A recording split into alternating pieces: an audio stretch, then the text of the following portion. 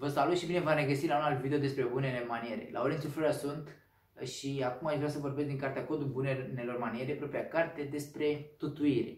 Tu sau dumneavoastră.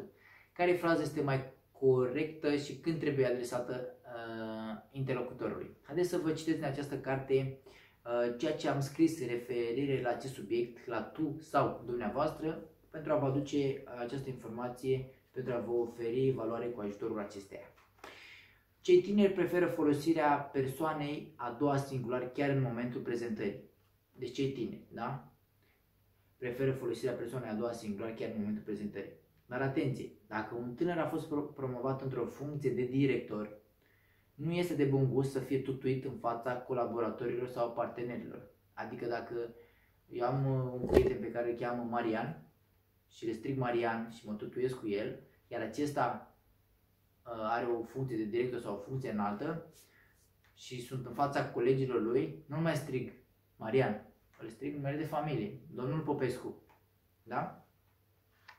Dacă sunteți necăsătorită, iar o persoană vi se adresează cu doamnă în loc de domnișoară, dacă sunteți necăsătorită, da? Iar o persoană vi se adresează cu doamnă în loc de domnișoară, nu este politicos să o corectați. Cu siguranță nu a vrut să vă jignească, ci doar să fie amabilă. Adică nu trebuie să luăm moto ce spune, pentru că persoana respectivă chiar nu a avut, chiar nu avea de unde să știe dacă uh, dumneavoastră, dacă sunteți o persoană, sunteți căsătorită sau nu. Și poate să spună ceva de genul, ajută totul pe doamna, da? Sau ajutați-o pe doamna. Pentru că nu are de unde să știe dacă sunteți căsătorită sau nu și atunci nu vrea să riște și spune doamnă, în loc de domnișoară, da? Dacă vă prezentați singur, este recomandat să vă spuneți doar numele, fără toate titlurile și gradele pe care le dețineți, lucru care poate fi interpretat ca o laudă de sine. Este mult mai de bun simț să vă prezentați cu modestie pentru ca ulterior ceilalți să afle că sunteți doctor, conferențiar, lector, asistent și așa mai departe.